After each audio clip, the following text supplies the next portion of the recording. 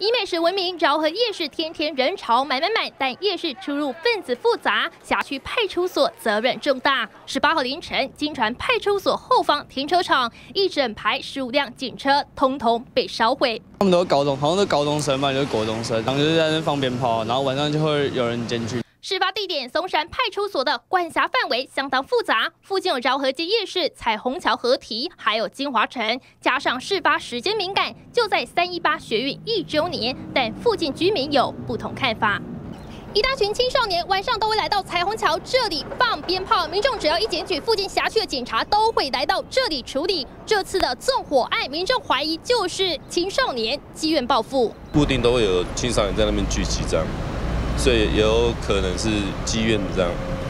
青少年大半夜聚集彩虹桥河堤喧哗放鞭炮，已经不是一天两天，附近居民不堪其扰。不过这积怨报复说法遭到警方反驳，因为起火点正是停在派出所后方停车场的这一辆老旧警用机车，从右边驶过来，第四辆就是起火点。但这里是监视器死角，又面对大马路。警方只说前一天晚上十点，远景骑车巡逻回来，没想到五小时后惊传大火。只是老旧机车惹祸，证人质疑车龄八年的警用机车常漏油却没人管。另外也不排除有人是丢烟蒂惹祸。如果证实有纵火可能，就等于挑战警方的公权力。专案小组可要查个清楚。记者李荣生、黄子峰 S N G 小组台北报道。